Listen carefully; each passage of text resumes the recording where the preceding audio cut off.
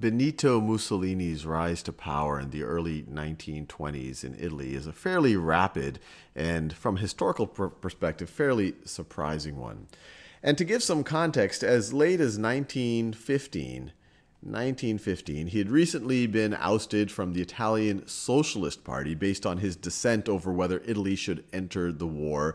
The socialist, the official stance of the party is that the war, World War I, is an imperialist war, that Italy had no business entering it, that Italy should stay neutral. But you had more nationalist elements in the party, and Mussolini was one of them, says, no, this is Italy's chance for glory. This is Italy's chance to build its empire. And so in 1915, he's ousted from the Socialist Socialist Party, and he decides to start his own group called the the Fasci d'Azione Revolucion, Revoluzionaria, and I talk about that in the video on fascism, but it was often referred to as the Milan Fascio, the Milan Fascio, which was a group that was strongly nationalist, that was pro entering the war. And Italy does eventually enter the war, not necessarily because of these guys. This was still a fairly insignificant, a fairly insignificant organization. The reason why I'm mentioning is it shows Mussolini even before the war was showing these very strong nationalistic tendencies and this tendency to to start organizations that that were pro pro nationalist, and he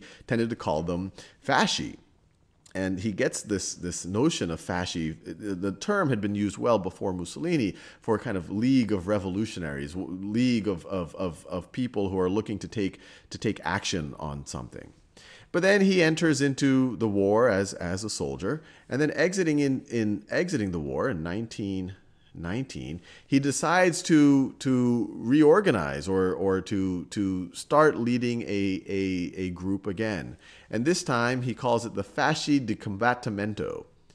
Fasci di Combattimento. Battimento, which could literally be translated as the League of Combatants and this isn't even a, a formal party at this point of time.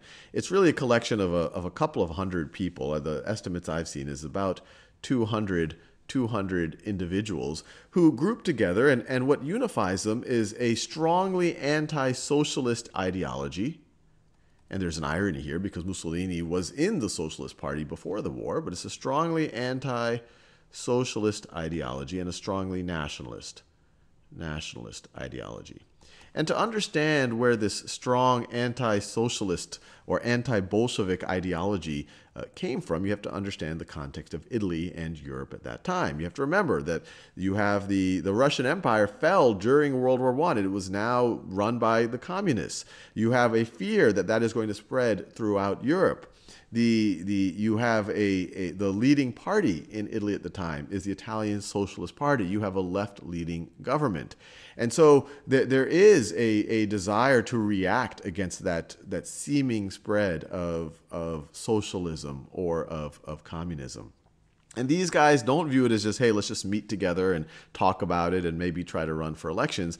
They want to actively coerce people. They want to actively intimidate people. And these groups that would, would rise out of this, that would be strongly anti-socialist and, and anti the, the anti left-leaning government, they would wear these black shirts, and they were often called the black shirts, which I won't wear it right in black because then you wouldn't see it. So I'll write in this blue color these black shirts. And these were very loosely organized bands. They were often called, you know, fasci, that would, it would often be young men who would uh, kind of gather together in towns throughout Italy and say, you know, we, we, we believe in this anti socialist ideology. Uh, we want to uh, take up arms and intimidate socialists, intimidate people on the left. And so you have these black shirts, this, this paramilitary group starting to arise. But in 1919, I want to emphasize very small, very, very small, very, very insignificant.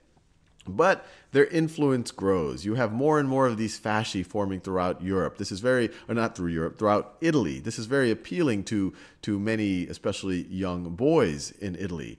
Mussolini himself is a very inspiring orator. He's kind of this, this, this, you know, larger than life personality. He's, he's he he sometimes what he says doesn't didn't necessarily make complete logical sense but it it really appealed to people's emotions that he was a strong leader that someone that they would actually want to follow and so in two short years you forward to 1921 1921, this Fasci di Combattimento had now morphed into a real national party.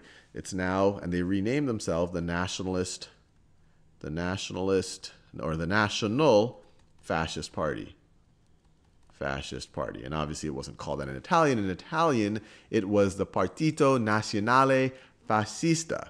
And Mussolini is, is, is the leading figure here. He gets elected to the deputy, the Chamber of Deputies. Chamber of Deputies, along with several other fascists. But they're still a fairly small party, although they've already now they're gaining steam. They're becoming mainstream. And, but even though they're becoming more mainstream, they still haven't given up their their use of force and their use of intimidation.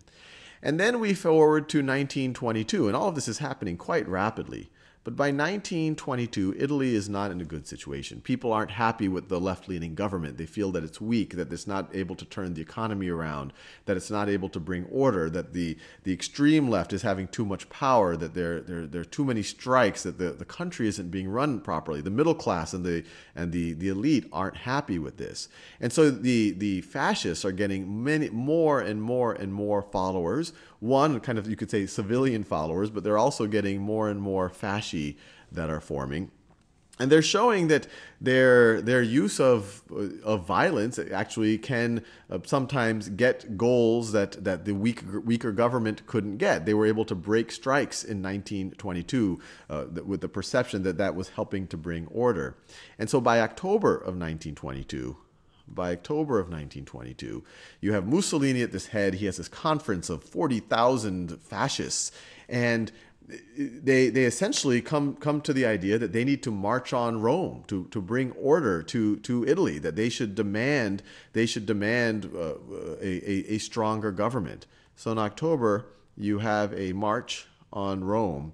And I've seen several accounts of the size of this map march on Rome, but the, the numbers that I've seen is on the order of 200,000. 200,000 fascists march on Rome. And this essentially causes the, the current government to, to be the, the prime the, the prime minister to be ousted, and the king appoints Mussolini as prime minister. So Mussolini Mussolini is now the prime minister. So this is a huge, this is a super rapid ascent, really based on people's unhappiness with the left-leaning governments, people's desire for a strong leader, Mussolini's uh, kind of charisma, his, you know, every picture you, you see of him, he has these kind of really stern looks. He has this kind of impression of a really strong figure. And not only did, did he become prime minister, but he's able to get dictatorial powers. The legislature actually gives him dictatorial powers for a year dictatorial dicta, dictatorial powers for one year. So you can't at this point call him the dictator. We'll see that that's going to come in a in a few years, but he's granted essentially absolute control. He can pass he can pass laws at will. And and it's an interesting question of history of why at this point the legislature was willing to give him dictatorial powers and why the king was uh, fine with this with this fairly uh, you know uh, strong character being prime minister with dictatorial powers. And uh, you know, my understanding is, and I'm curious to see what you guys say in the message boards, is that it really was around. You know, people were desire on one level. There there was a desire, especially amongst the middle class and the elite, of having the strong leader, of maybe someone who could bring order and pride to the country. And then on top of that, he was backed up by these he was backed up by the black shirts, this kind of paramilitary group that was dispersed throughout throughout Italy that, that could intimidate his, opponents. And so you can imagine some legislatures were actually keen to support a strong leader after many years of weak leadership. But on top of that, they, they probably felt intimidated into, into giving Mussolini these, these absolute powers.